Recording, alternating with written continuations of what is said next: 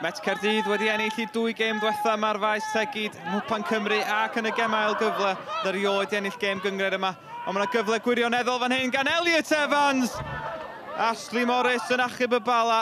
Y gwrth ymosodiad gan y myfyrwyr. Y ddau Evans yn cyfuno a Morris i'r adwy.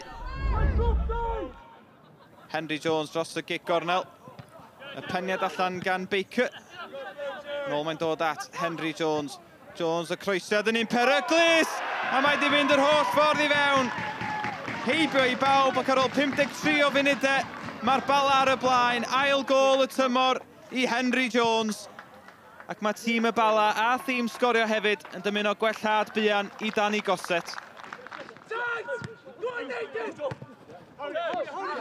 Elita Fans rheoli'n hyfryd yn troi ar bas yn un dda tu ôl i'r amddiffyn. Dyma Will Evans Evans yn gri yn gydnerth. O, di'r bel di taro llaw Andrew Burns. Mae Richard Harrington yn pwyntio at y smotyn. Will Evans, gwaith da gan y blaenwr. A dim ond 5 munud ers i'r bala fynd ar y blaen. Mae'n gicor smotyn i'r myfyrwyr. Elliot Evans, y gŵr sgoriodd, y gicor smotyn dynged fennol honno i yrru Met Caerdydd i Ewrop.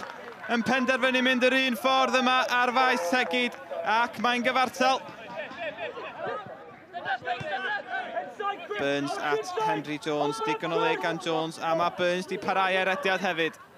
Andy Burns yn codi ben y croesiad. Peniad allan dim ond teg at Henry Jones. Burns yn ei chodi fewn unwaith eto. Kieran Smith a'r peniad yn taro'r trawst.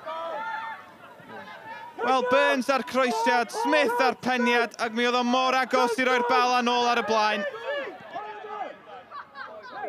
Rhyw ddeg munud yn weddill yma ar faes tegu. Tafliad hir gan Dan Spencer. A'r balan cael trafferth clirio, a Dion Phillips yn ei throi hi gefn yr hwyd ac yn sgorio ei gol gyntaf oed yn yr uwch gyngrair. Y tafliad yn achosi problemau yn y cwrt, y bel fel tatem boeth, y balan methu delio hi, a Phillips yn rhwydo. Venables penia da gan y gŵr profiadol. Dyma Evans. A Venables unwaith eto yn benderfynol. Y bel gan Mike Hayes. Hayes! Heibio'r nod. A falle mai hwnna oedd y cyfle ola i'r bala. Ydyn nhw am golli am yr ail wythnos yn ôl yn ôl. Yeah, very happy. Um, it's always a war of attrition when you come to uh, Bala. A lot of respect for Colin and, his, and what they've done as a team, and we knew today was going to be very, very difficult. Um, you know, you have to you have to battle, and that's the first thing we spoke of. If we haven't come to battle today, then we'll be second best, and probably weren't our best first half, and that was probably down to Bala um, having their, their strength against us. But as soon as the game became a little bit open second half, um, I felt that um, our wider players grew into that, and it became open in our favour, um, and.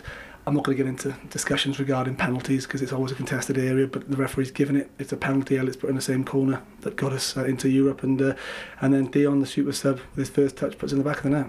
You know, it was a good game. I think they they defended really well in the first half, blocked lots of shots, and you know we had a few half chances that we should have taken.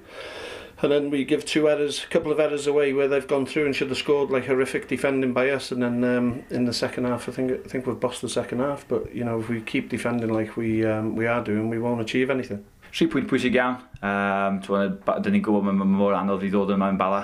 Um, a fi'n credu Siom i ddod mewn amser, hanner amser, twa, ddim, ddim ysgorio ddau gol.